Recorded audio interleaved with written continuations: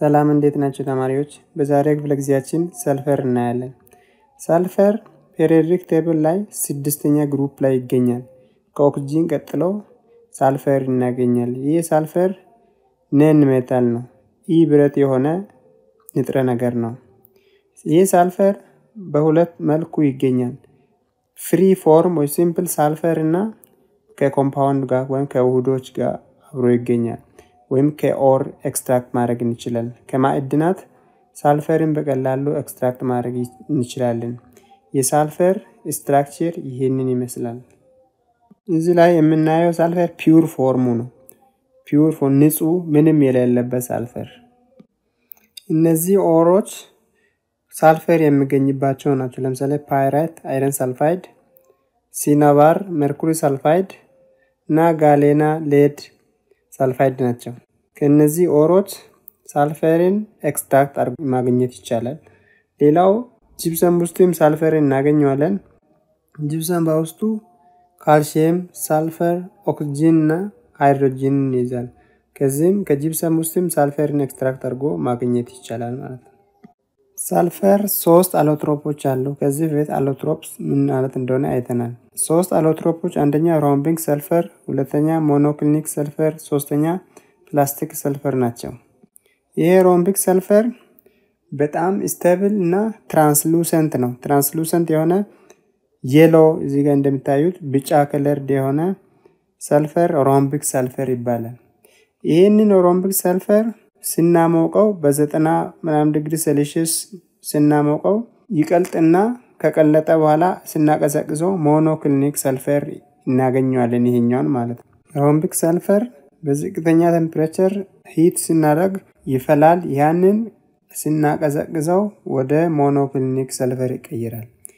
ይሄኛውን በመቶ ዲግሪ በሁለት መቶ ዲግሪ ሴልሺየስ በከፍተኛ ሙቀት ስናፈላው ይቀልጥና እዚህ ጋር brown የምትመስሉ ፕላስቲክ ክር የሚመስል plastic sulfur እናገኛለን። ስለዚህ እነዚህ ሶስቶቹ plastic sulfur፣ monoclinic እና rhombic sulfur ኦቹ የ sulfur allotrope ኦች ናቸው። ሳልፈር በእነዚህ በሶስት form እናገኘዋለን።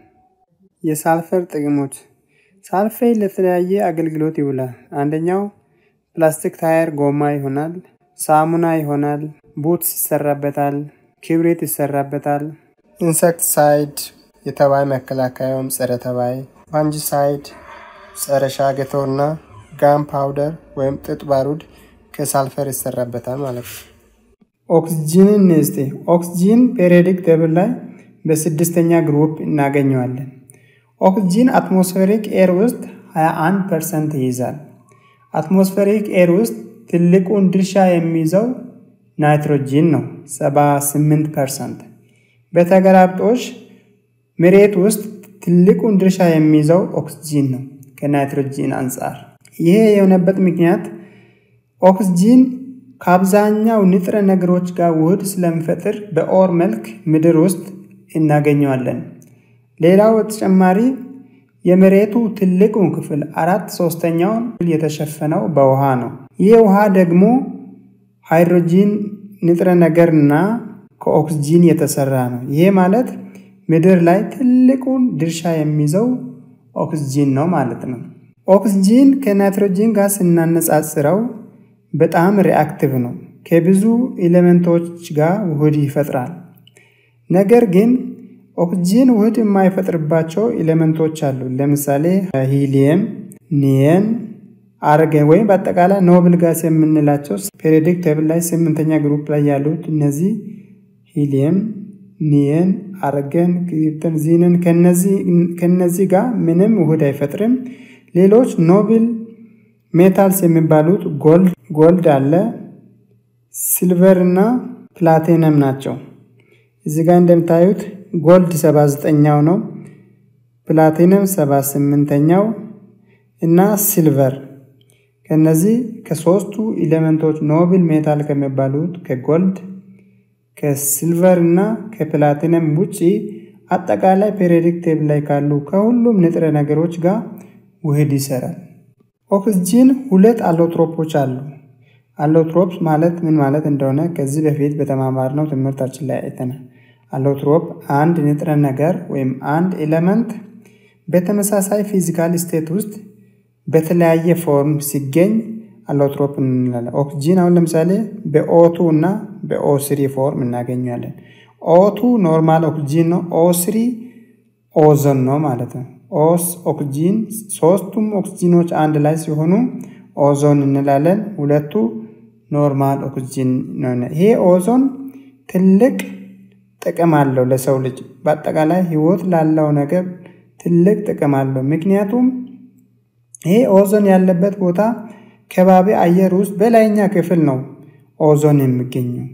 ይሄ ኦዞን ከፀሐይ ብርሃን የሚወጡ ultraviolet ray የሚባል ትልቁ ትልቅ energy ወይም ትልቅ ኃይል ያለው ጨረር ሲመጣ ህይወት ያላቸውን ነገሮች እንዳያጠቃ ይከላከላል። እነዛን ultraviolet rays የሚባሉት ወይም ትልቅ high radiation ያለውን ከፀሐይ የሚወጣ electromagnetic radiation energy ውን ወደ ላይ ይመልሰዋል ማለት ነው።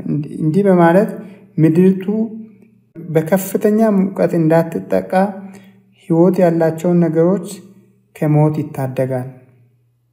ozone protect the earth's biosphere from ultraviolet rays በምድር ላይ ህይወት ያላቸው ነገሮችን ከኦልትራቫዮሌት ጨረር ይከላከላል። biosphere ባሉት የምድርቱ ክፍል ሆኖ ህይወት ያላቸውን ለምሳሌ እጽዋት፣ እንስሳት ምኖርበት ማለት አሁን የምንኖርበት ምድር ማለት ነው። ይህ ጨረር ultraviolet ray የሚባለው ጨረር በቀጥታ ከፀሐይ ብርሃን ሲወጣ ህይወት ያላቸውን ነገሮች እንዳያጠቃ ይከላከላል ማለት ነው። ይህኛው normal ኦክስጂን እንግዲህ የሰው ልጅ ሁሉ የሚተነፍስበት ኦክስጂን ነው ማለት ህይወት ያለው ነገር ሁሉ ወደ ውስጥ የሚስብበት ወይም የሚስበው ወይም የሚተነፍሰው አየር ኦክስጂን ነው ማለት ነው። ይሄ ባይኖር ህይወት የለም ማለት ይቻላል። ስለዚህ ኦክስጂን ለሰው ልጆች ትልቁን ጥቅም ይሰጣል። የሰው ልጅ በህይወት ለመኖር ኦክስጂንን መተንፈስ አለበት ወይም ኦክስጂን ወደ ውስጥ መሳብ አለበት። እንደተባባልነው ኦክስጂን ዘርፈ ብዙ ጥቅም አለው። ለምሳሌ iron ore ን ወደ steel ለመቀየር ይሄ ማለት ያልተጣራ ብረትን ወደ ንጹህ ብረት ለመቀየር ኦክስጂንን እንጠቀማለን። ሌላው ደግሞ ብረቶችን ለመበየድ እና ለመቁረጥ ኦክስጂን እንጠቀማለን። liquid oxygen ምክንያቱም የኃይል ምንጭ ስለሆነ። ሌላው ሮኬቶችን ለማስወንጨፍ ኦክስጂንን እንጠቀማለን። ስለዚህ አሁን ካልነው እና ሌሎቹም ብዙ ጥቅሞች ኦክስጂን አሉት። ስለዚህ ኦክስጂንን በዚህ መልኩ ለተለያየ አገልግሎት መጠቀም እንችላለን።